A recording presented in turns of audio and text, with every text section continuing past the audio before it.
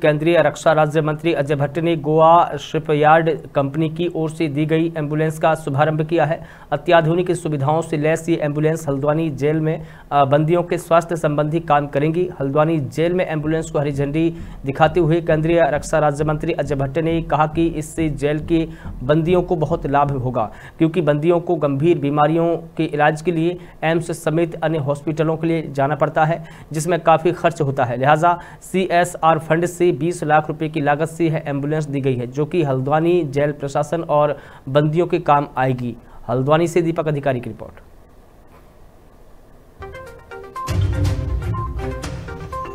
Election के लिए क्या होगा, कैसा होगा, ये तो जब हमारा सदन चलेगा, उसके अंदर क्या आता है, अभी तो कयास लगाए जा रहे हैं। एजेंडा क्या होगा, वो जब हमारी सर्वदलीय बैठक होती है उसके बाद ही पता लगता है। अभी कुछ भी कहना उचित नहीं है।